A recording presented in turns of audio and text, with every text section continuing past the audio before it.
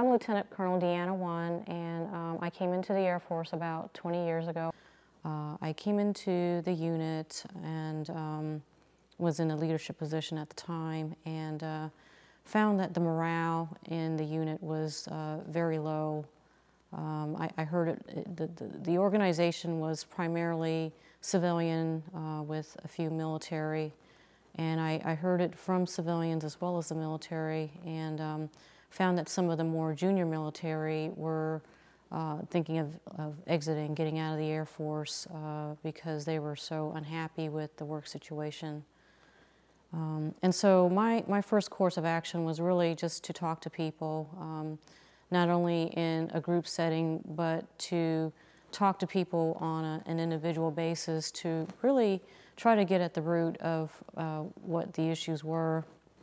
And uh, what I found out from just doing interviews with, with, various people throughout the organization was that there were some employees uh, who were not really carrying their weight. And so, because there was this perception um, that uh, he was really not fulfilling what he should be doing for someone in his rank, uh, that caused a lot of resentment amongst uh, his coworkers.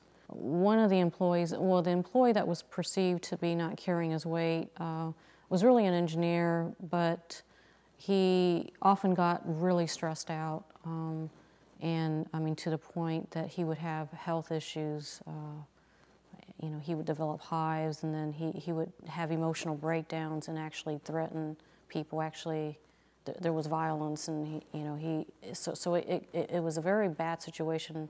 At one point, one of my, um, I guess, the branch chiefs, um, you know, he had some challenges working with this individual who was who was perceived to be very threatening to people it was interesting because I thought various employees just, you know, they, they felt like they were on eggshells around this person because it, was very visible when he became very agitated, his, his face would just become red. And, um, and, and I even had uh, subordinates come and tell me that, well, you may want to be careful with this person.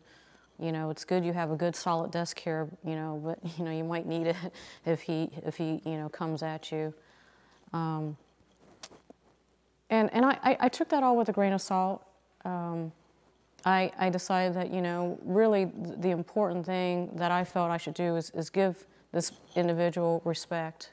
Um, and, uh, and so, so I, I, I, sat him down, talked to him, you know, and just try to find out what his issues were. And found out that, you know, yes, he did have an engineering background, but um, the organization, you know, had vastly evolved from the time he first came in, and and he basically just kind of, I, think, fell behind. You know, it, it, had evolved to a point, and he just had not kept up with, you know, maybe technologies and and whatnot, and so he felt overwhelmed.